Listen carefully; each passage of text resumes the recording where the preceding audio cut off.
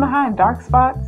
You can use 5-1 Butter Blend for those areas that are most vulnerable to wounds, such as your face, your hands, your back, shoulders, and elbows, and feet, just to name a few. Dime size palm of your hand. Rub together to soothe your hand. Now concentrate on the areas that contain the wounds for best result.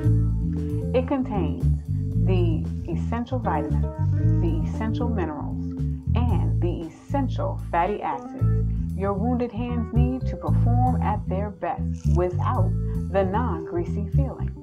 Tune in for our one minute 5 in 1 tip on how our 5 in 1 butter blend can help you with blemishes on Friday at 5:01 p.m. Eastern Standard Time. See you Friday.